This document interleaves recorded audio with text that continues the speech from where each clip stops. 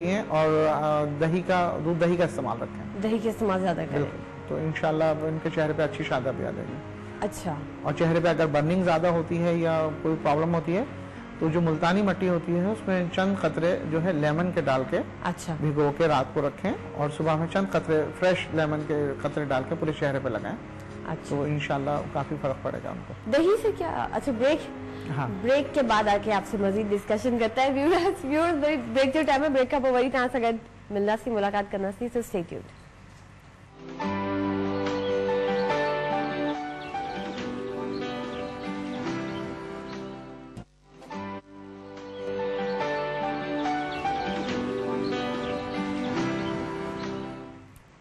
welcome back once again to program सुबह जो आवाज़ असां डॉक्टर रिज़वान मौजूद आहिनि तव्हां सां गॾु कॉल करे स्किन जा प्रॉब्लम्स जेतिरा बि आहिनि उहे तव्हां उन्हनि डिस्कस करे सघो सुठी तरीक़े सां आइडियाज़ ॿुधाइनि त कीअं तव्हां प्रॉब्लम्स खे घर वेही क्योर करे सघो था। ऐं मेडिकल मेडी मतिलबु मेडी मेडिसिन्स जेके ज़रूरी आहिनि उहे बि तव्हांखे ॿुधाए सघनि था, त कहिड़े तरीक़े सां तव्हां इन्हनि प्रॉब्लम्स खां रिलीफ हासिल करे था।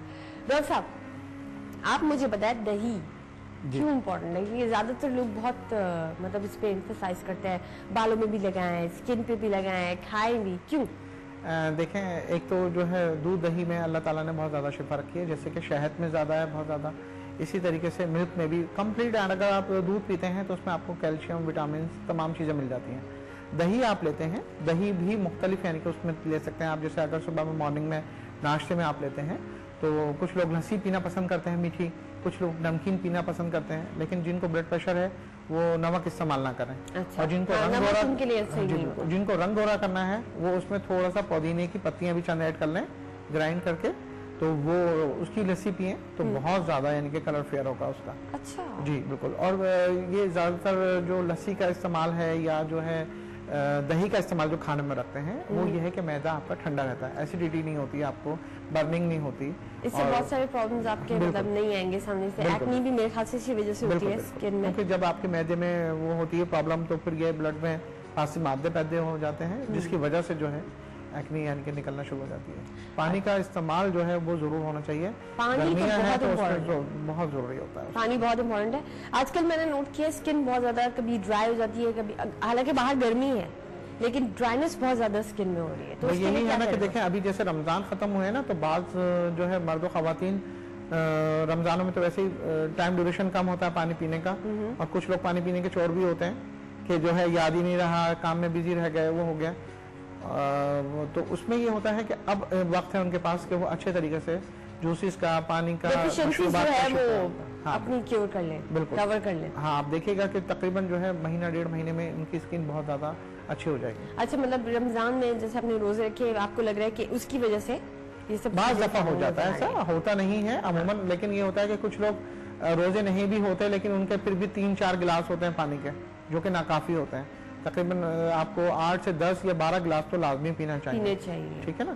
तो वो रमज़ान के अंदर बस उन्होंने जो है इफ्तार के बाद दो गिलास पी लिया एक शरबत पिया एक गिलास पानी पिया फिर एक आध पिया उन्होंने रात में और फिर शहरी में जल्दी जल्दी में जो है एक दो गिलास पिया। तो ये कम होती है क्वान्टिटी अब आप जो है उसको ये कर सकते हैं स्किन आपकी डिहाइड्रेट हो गई है आपकी एक्ने निकलना शुरू हो गई है क्योंकि देखें रमजानों में जो है समोसे पकौड़े और चीज़ें बहुत ज़्यादा। वो खाई जाती हैं।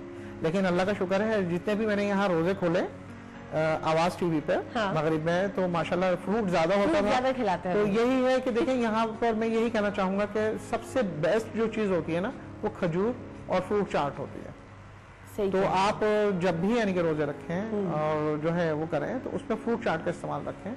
फ्रूट ज़्यादा बिल्कुल। जूसेस ज़्यादा पिए जूसेस ज़्यादा पिए इससे बहुत सारी बीमारियाँ भी जो है वो आपके इंटरनली बॉडी में बहुत सारी चीज़ें आ रही होती हैं वो भी इस चीज़ से रुक जाती है। अगर आप डेली अपने लाइफ साइकिल के अंदर आप ये रखें कि एक ग्लास जूस आपको रोज पीना है तो बहुत सारी चीज़ों से आप बच सकते हैं। एक सेब खा लें आप और एक एक लें, दूध पी लें तो जो है आप तमाम बीमारियों से दूर रहेंगे डॉक्टरों से दूर रहेंगे।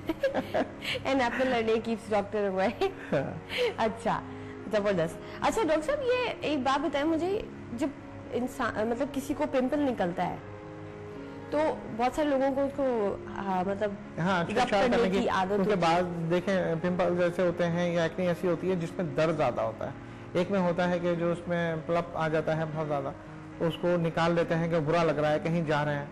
उससे ये होता है उनके गढ़े पड़ना शुरू हो जाते हैं। इसको भी यानी कि एक इसकी अच्छी सी होम रेमेडी है अगर लोग करना चाहें तो उसे घर में कर सकते हैं लेकिन ज़रा मुश्किल होता है। अच्छा। तो जो है इसीलिए ज़्यादातर हमारा जो अप्सरा ब्यूटी क्रीम की जो किट है वो यानी कि ज़्यादा मौजूद रहती है कि उसको ले लेते हैं। वैसे अच्छा। मैं होम रेमेडी बता देता हूँ हाँ। हाँ वरना हमारे नाजिन सोचेंगे कि जो है होम रेमेडी पौधी कौन सी बता दे हाँ। देखिए जैसे बकरी की कलेजी हो या मुर्गी की कलेजी हो मुर्गी की ज़्यादा बेहतर रहती है उसकी कलेजी लेके उसे आप ग्राइंडर कर लें और उसमें थोड़ा सा जो है कॉर्नफ्लोर लगा के और उसे अपने फेस पे जहाँ जहाँ आपके दाने हैं या एक्नी है जो खत्म होने के बाद आपके गड़े रह गए वहाँ पर आप लगाएँ उसको। ठीक। तो थोड़ी सी स्मेल तो महसूस होगी आपको लेकिन जो है कॉर्नफ्लोर जो है उसे आपको यानी कि पेस्टिंग करने में आसानी होगी। वो लगाएँ तो इंशाल्लाह चंद हफ्तों के बाद जो है आपको महसूस होगा कि आपके जितने भी गड़े हैं वो मिनिमाइज हो गए। अच्छा और उसके बाद फिर जो ब्लैक स्पॉट्स पड़ जाते हैं स्किन ब्लैक स्पॉट्स अगर पड़ जाते हैं तो उसमें देखें एक्नी नहीं है ब्लैक स्पॉट्स हैं ठीक है? उसके लिए सबसे बेहतरीन यही है कि आप चंद दाने बादाम के ले लें और जो है क्या नाम है राइस पाउडर जो है चावल का जो पाउडर होता है ना वो थोड़ा सा वो ले लें संदलवुड ले लें और उसे आप अगर चाहें ऑरेंज के छिलके भी हर्बल शॉप पे इजीली मिल जाते हैं। अच्छा। वो लेकर उसे जो है आप पाउडर मिल्क में मिलाकर अच्छे तरीके से पेस्ट करके एक मास्क बनाए और अपने पूरे फेस पे लगाकर और उसके बाद रोज वाटर का स्प्रे करें और हल्के हाथ से एंटी क्लॉकवाइज जो है मसाज करें। मसाज करते रहे। ये बेहतरीन क्लिनजर है। अच्छा। और उसके बाद आप करने के बाद अपना चेहरा वॉश आउट कर लें। पाँच मिनट ड्राई भी होने देना है आपने। उसके बाद अपना चेहरा धो लें और उसके बाद फिर रोज वाटर का स्प्रे करके या फिर कोई भी अच्छा टोनर लगा के देखें आप इंशाल्लाह। एक और बात भी मैंने नोट की है कोई भी प्रोडक्ट लोग यूज़ करते हैं बहुत सारे लोग या ऐसी होम रेमेडीज जो लोग यूज़ करते हैं।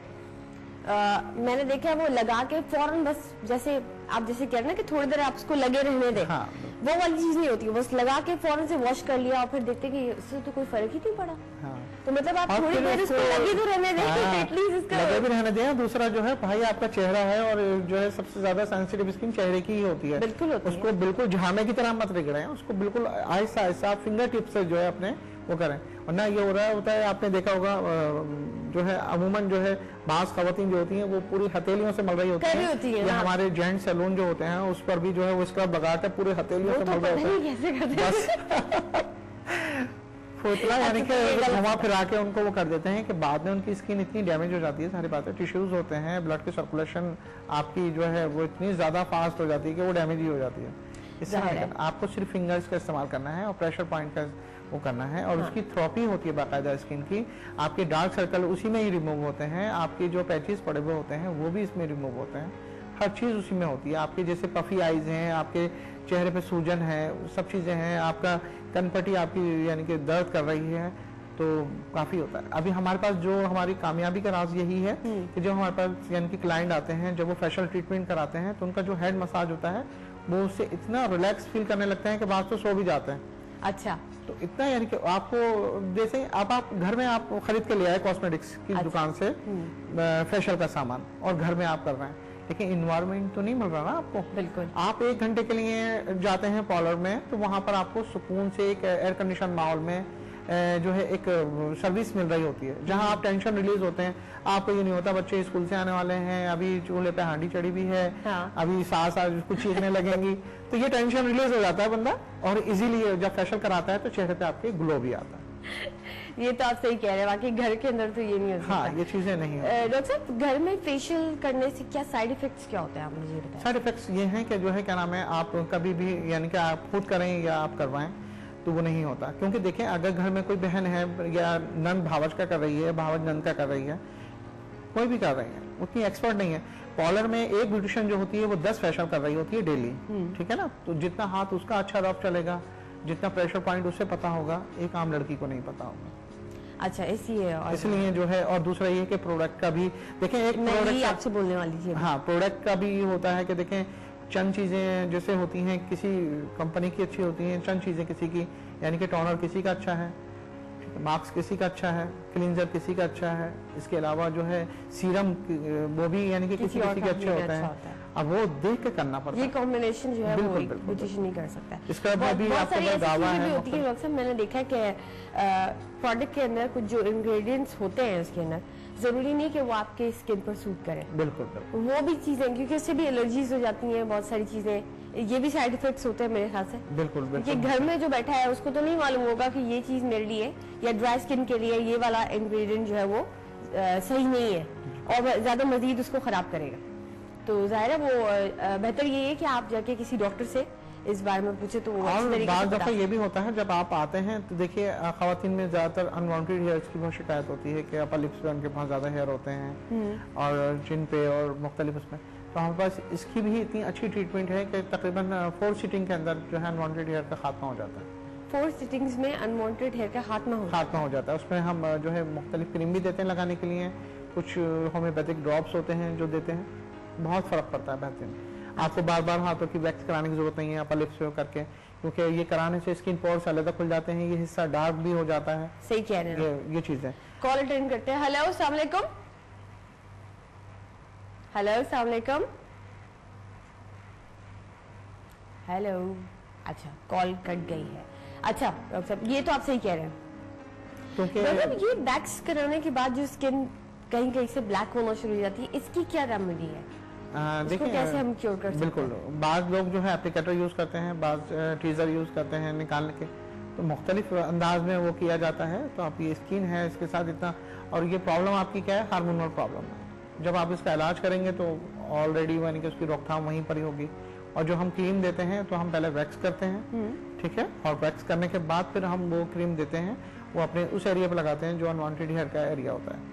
उससे ये होता है कि वो अंदर जाकर उसकी रूट्स को जो है कमज़ोर कर देता है और बाल आहिस्ता आहिस्ता उसके जो है ग्रोथ करना कम करते हैं। यहाँ तक कि वो बिल्कुल एंड हो जाता है। आप लेजर ट्रीटमेंट कराने जाते हैं तो लेजर ट्रीटमेंट बहुत एक्सपेंसिव भी है बहुत तकलीफ़ दे अमल भी है और जो है लॉन्ग टर्म लंबा भी होता है बहुत। प्रोसीजर तो इससे अच्छा बेहतर तो यही है कि अगर ये करा जाए तो ज़्यादा बेहतर। अच्छा अच्छा अच्छा। ज़बरदस्त बहुत अच्छी अच्छी रेमेडीज बताई हैं आपने।